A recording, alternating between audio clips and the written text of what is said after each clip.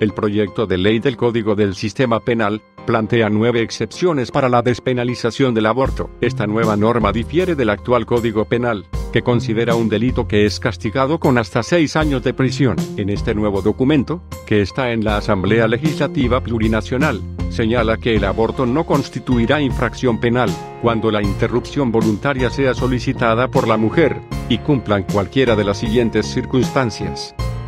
cuando se realice durante las primeras ocho semanas de gravidez, por única vez, y además la mujer se encuentre en situación de calle o pobreza extrema, no cuente con recursos suficientes para la manutención propia o de su familia, sea madre de tres o más hijos o hijas, y no cuente con recursos suficientes para su manutención, o si es estudiante.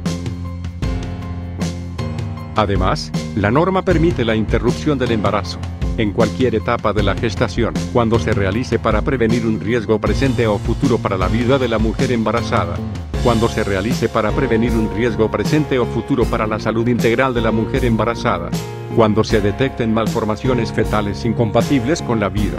cuando el embarazo sea consecuencia de violación o incesto, cuando la embarazada sea niña o adolescente. El proyecto también indica que el Sistema Nacional de Salud deberá precautelar la libre decisión, la salud y la vida de la mujer, no podrá negar la interrupción del embarazo, ni su atención integral en los casos previstos en el parágrafo precedente, alegando objeción de conciencia y estará obligado a mantener el secreto profesional. Además, detalla que el único requisito para la interrupción del embarazo en los casos señalados, será el llenado de un formulario de constancia, del consentimiento informado de la mujer, y el señalamiento de la causal y circunstancias de su decisión, sin necesidad de otro trámite, requisito o procedimiento previo de ninguna naturaleza.